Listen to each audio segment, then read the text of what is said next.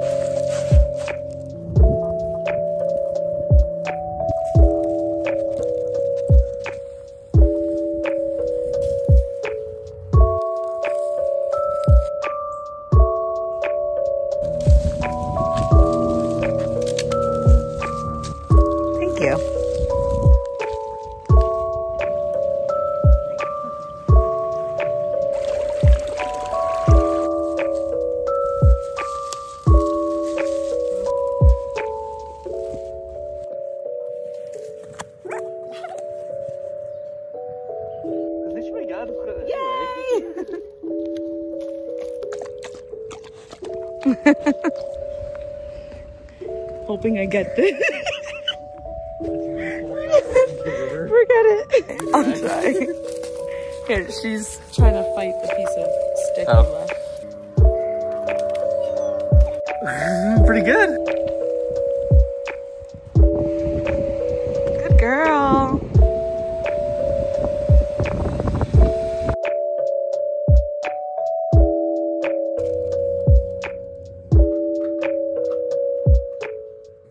guys, welcome back to my channel. My name is Deija and I am the Starstruck pup behind the art.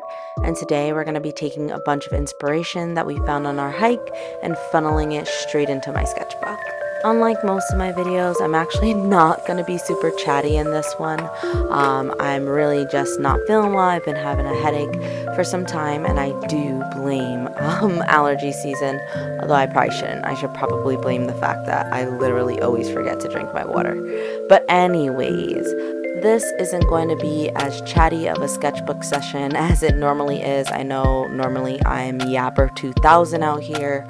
Um, but I'm looking to do something a little bit more low key today. So go ahead and grab yourself a drink and your favorite activity, whether that's sketching with me, painting, crocheting, paint by numbers. I, maybe it's dancing. I don't know. You let me know in the comments what you're working on while I'm working on finding peace outside of the perfectionism I've created in my head and just decide that anything that I create is perfect in its own way. You know, the way when you talk to a child about their art, you find something nice to say about it? That's how I want to feel about all the art I create, especially when I'm specifically creating art of a topic that I love. I love dogs so much, and for me, any dog that I create should inherently be perfect because all dogs themselves are perfect. So, as I'm creating my perfect angel sage, I like to remind myself that at the end of the day, this painting will be perfect no matter how the paint is laid down because in my eyes, Sage is perfect and I would appreciate and love any rendition of her.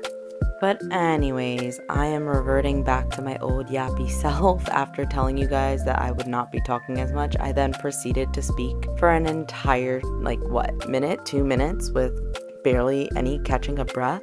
Um, so, let's go ahead and let's get painting, and I will catch you guys a little bit more towards the middle of the video.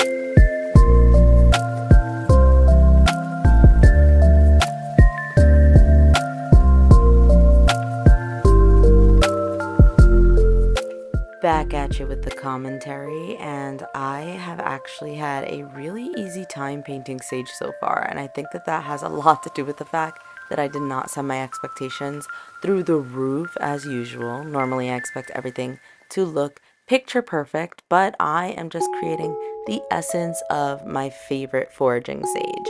And it has been coming out really great, but I'm not gonna lie, I was a little bit nervous about painting the ear because I was trying not to make it so detailed, but also still have it give the look of an ear but after calming myself down a little bit and just reminding myself that I'm just creating shapes that look like something else and not the real ear of sage, I brought myself back to sanity and was able to paint and bring myself back to the fact that I am an artist creating art from absolutely nothing and not a god creating an ear on a dog.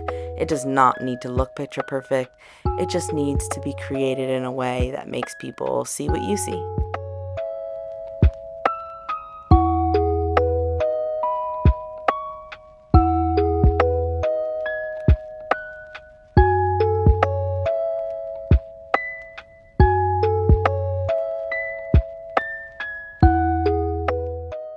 Can we take the time to talk about how cute Sage looks in her yellow jacket? Not just in this painting, because obviously I am trying my hardest to reflect the cuteness of the picture in this painting, but let, let's bring it back to the picture because I think that we're forgetting exactly how cute she looks right now. Like, ah, just the cutest. Yellow is so her color. And then with that complementary purple collar, simply too cute.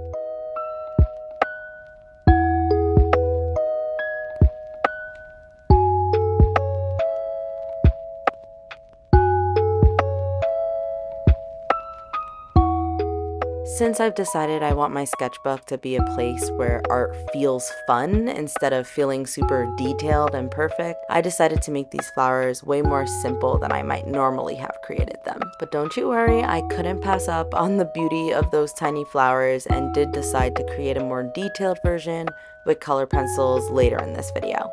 At this point, I have an oopsie to cover up. I accidentally touched the black paint to the top and had to wash it off, but I want to take everything as an opportunity to be creative instead of an opportunity to get upset that I messed up on something. So I decided to fill it with some clouds from today's sky. To me, first of all, I love painting clouds. It is one of my favorite things to paint, but normally I would do it with a magic hour background. But today's perfect day happened under the sky, and I am beyond happy to paint it. At this point, I want to do something a little bit different for the detailed flower, so I decide to take an acrylic piece of paper and actually draw it so that I can glue it onto the sketch page, and then again draw the flower and glue that on top just to give it more of a 3D effect. Actually, I even went as far as using little sticky I don't know, sticky circle stickers that elevate things. I don't know what you would describe it. If anyone knows what you would call them, again, feel free to comment and let me know. But otherwise, please enjoy the creation of, I don't know, whatever's going on in my head. Um, and let's see how it turns out because this is the final piece of my sketch layout.